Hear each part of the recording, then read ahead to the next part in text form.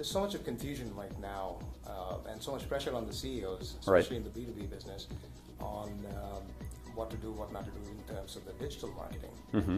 Uh, there's the RSS, there's the widgets, there's the uh, blogs, Mm-hmm. uh, the wiki, and with this confusion and the hype and There's the, Twitter, there's there's a bunch of others, Facebook, right? yeah. So, so with so much of plethora of uh, options, Mm-hmm. what is a CEO supposed to think? What's a CEO supposed to do?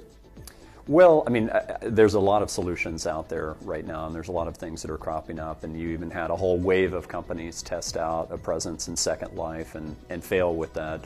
Um, the key is to is to take a portion of your budget and experiment, but, but do it in a way that's very analytics driven, where you see whether or not you're getting a good return on your investment.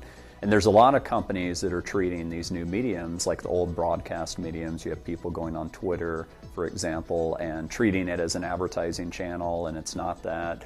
You have people going on Facebook and launching banner ads, and the typical banner ad click through rate that I've heard from a recent shop.org event is 0.003%, which means that it's basically abysmal performance, right? So there's there's a lot of there's a lot of people trying to figure out, um, but in the B2B space at least, um, I think an imperative at this point, given that you're selling to you know clients of mid, large tier, et cetera, um, is to have a blog. Like that's probably step number one. If you don't have a blog at this point, you are behind the curve. Uh, B2B, there's a lot of relationship selling involved with that.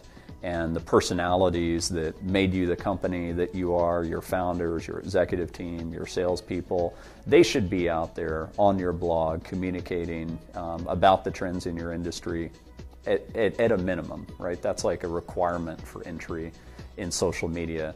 Um, because you have nothing to lose. You have everything to gain. You have natural search results to gain from that. You, the writing of a blog is a very liberating process where just the process of writing itself is transformational.